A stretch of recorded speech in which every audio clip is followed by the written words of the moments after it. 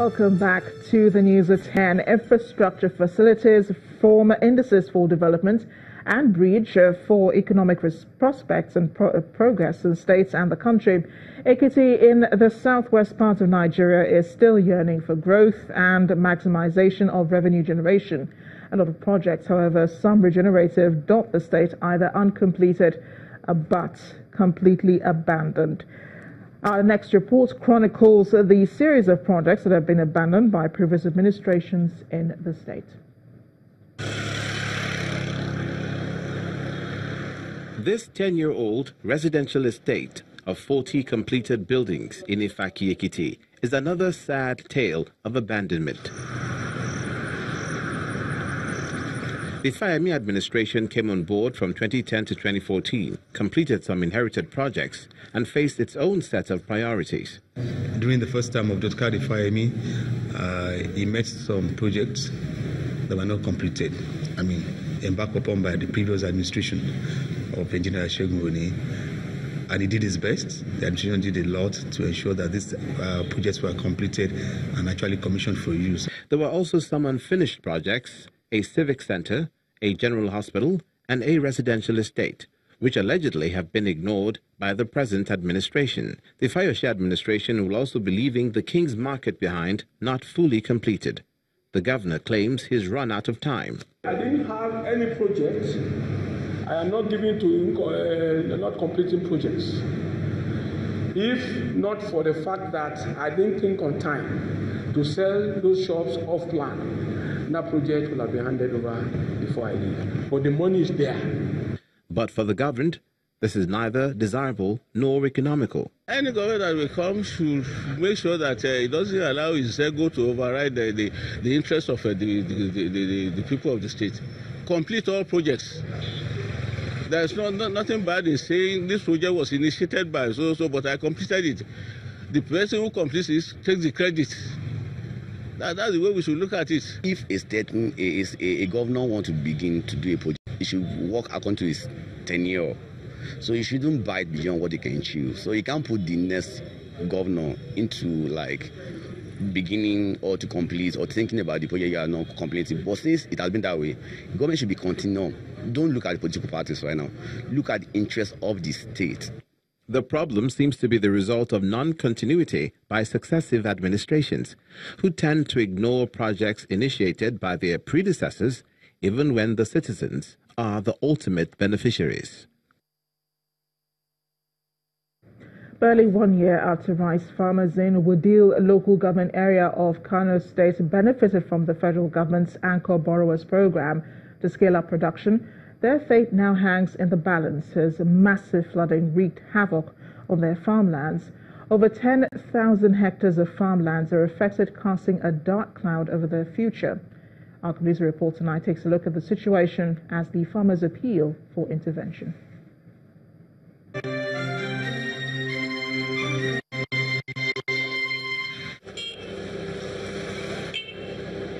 Dabadakoa community is one of the several areas in Wudil local government area of Kano State where rice farming holds sway. While the crop may require a lot of water to grow well, the recent flooding in the country opened farmland to excess of it, leading to massive destruction of over 10,000 hectares. The dilemma for many of the farmers is compounded as they are beneficiaries of the federal government Anchor Borrowers program. They hope they could increase their yield this year, but the reverse is the case. I cannot even express how deep I feel because I lost more than two million five hundred naira, uh, dollar, naira definitely. And only, as you said, this 10 hectares is only massive. So our people suffer because we depend with this rice. All our people will depend on this farming. So this year is come with very, very harsh and terrible thing. So, and some our people, even some uh, koshiko, some people, they don't even get their food in day, one day. Some people one day, some people one time, three, one, one. Other people, they don't, they don't, they don't have everything to, to eat ma, as a result of the flood. It's hunger staring most of them in the face. Farmers who harvested 65 bags last year are now idle. Some could barely boast of one bag. Honestly, we cannot express our grief in words. After getting ourselves engaged in rice farming, we are just harvesting the remnants of the rice to see if we can get something. It's only God that can help us at this time. However, the Farmers Association in the state is looking to the future with renewed zeal, with expectation of government's intervention.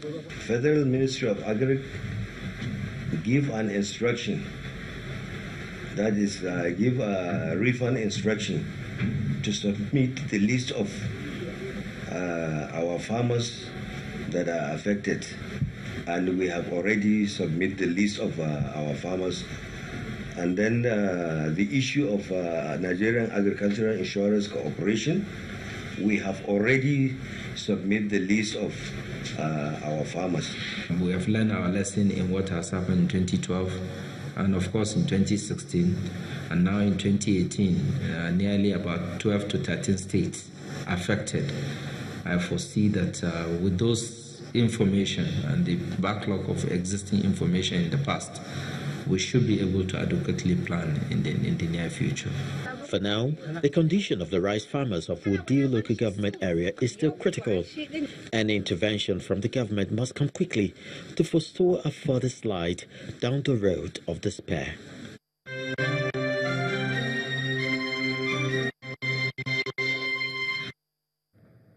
The Imo State government has signed a memorandum of understanding with a Chinese company to develop the Imo Industrial Park in addition to investment in power generation for the state. Governor Rochas Okorocha disclosed this during a courtesy call and signing of the MOU between the Imo State government and the Chinese company Elion Group at the Government House in Owerri. The chairman CEO of Elion Group, Wang Wenbiao, also applauded the commitment of the state government to the partnership with his company. Nigeria as the very important destination during my Africa trip this time. Today, I'm very happy to sign an MOU with the governor of Imo State. Is, uh, the MOU is about uh, eco restoration, clean energy, electricity power based on clean energy. This will actually show up the economy of Imo State. Uh, this will make Imo greater than what it is because all our problems have been that of power, and we have the gas. So gas is power, and we've been waiting for this long to see who can move our gas into power so that the economic life of the people can change. If Elion comes here and establish this power and create this industrial park, the industries will thrive, employment will will grow in a geometrical progression and uh, people will be happy for it. Coupled with our international cargo airport, which is going to support the uh, industrial park. These two projects will help the economy of Imo State. Meanwhile, the federal government plans to step up efforts at boosting buffers against economic shocks that may arise from its debt programs. A cross section of Nigeria's delegation to the IMF and World Bank meetings in Bali, Indonesia, made the announcement after the annual program on Sunday. Channel's business correspondent Temple Ashaju reports. The Nigerian delegation to the IMF and the World Bank meetings this year comprises two ministers, the central bank governor, and other top executives of the fiscal and monetary authorities. One of the focal points of the meetings was the concerns around Nigeria's debt financing and the need to up the ante in the area of domestic revenue mobilization, which the fiscal and monetary executives explain as receiving attention we, are, we have one of the lowest debts, in fact, the lowest debts amongst our comparator countries. So, all we have is a revenue problem, and we need to work to increase our revenues to ease our debt service obligations. So, we have to enhance our domestic uh, revenue mobilization so that we can ease the debt service uh, burden that we now, we now carry we have a lot of headroom to borrow, but we're not rushing to borrow more because we have to consider the, uh, the, current debt service that we, that we carry. Although Nigeria debt, debt to GDP remains um, uh, fairly okay, uh, debt service concerns were raised, um, whereas we also raised issues that we are doing everything possible um, to broaden the revenue base so as to improve the uh, tax to uh, GDP ratios. General, general advice also centered on uh, building fiscal and structural reforms that will help to enhance growth, growth in our economies. Like other African countries, Nigeria ranks low at 152 in the World Bank's Human Capital Index, but the delegates maintain that government is not resting on its oars.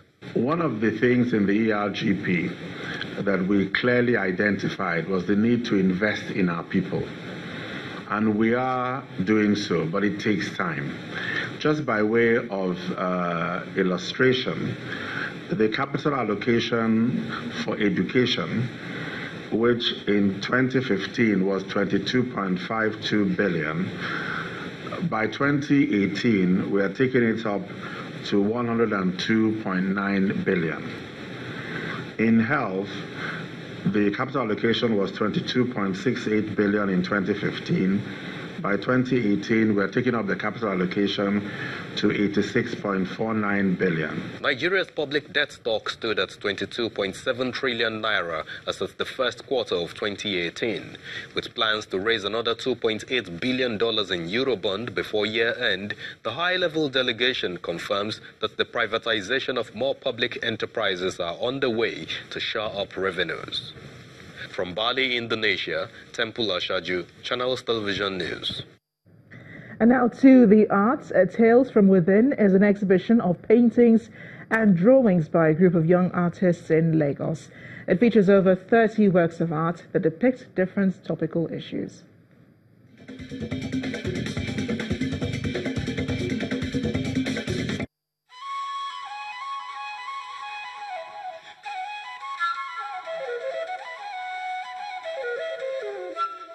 These are seven young contemporary artists anxious to take on the world with their fresh ideas.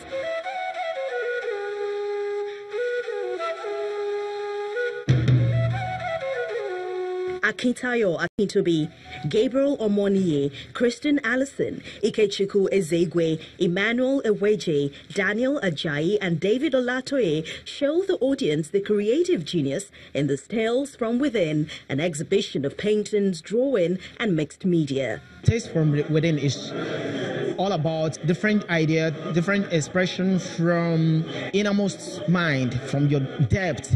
So bringing it to the within, the, the presence, so that people can visualize it uh, with a fantastic art work. The crowd has come to see the varied pieces done by these youngsters who combine the African traditional art with modern concepts. This, this work is trying to drive a thought and um, a message towards leaders who are who have the intention to mismanage the public fund. If you look very well, it's, it's titled. If you look at the top, it's titled "Wanted" for embezzlement of public fund. Reward eight thousand dollars. So the, the the whole idea is to communicate and to advocate for good and credible government. Some of them look at the female gender using either mixed media or canvas or acrylic on textured canvas. As a human, we have lots of emotions boiled down within us.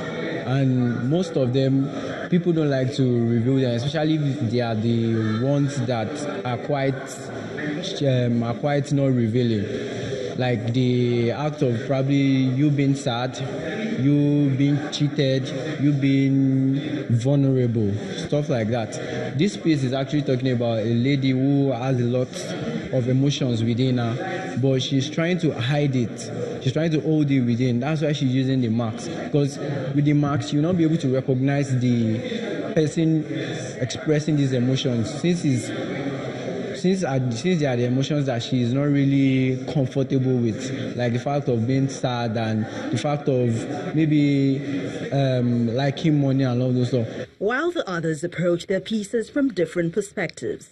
The title of this work is um, My Faith Looks Up Today.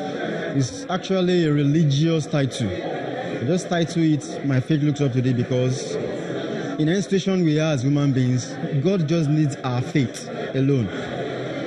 This, this work is just trying to like uh, caption the the sentence of the sentence of faith works. Faith is the evidence of sin or sin, the substance of sin or sin, and the evidence of sin. Or the, you know, just to be convinced that okay, there's something you're expecting something from God, and it will happen. So this work is like you're looking at the picture of a young man looking up to God. He has, he has been faced with different, you know, calamities. But when he, looks up to God, he's assured that, okay, God will answer his prayer and uh, everything will, you know, be smooth. The art community will be expecting them to be even better the next time they exhibit. Still ahead on the news at 10, the Athletics Integrity Unit suspends Nigerian and African women's 400 meters hurdles champion Glory Nathaniel for failing dope test. We'll have more in sports news. Stay with us.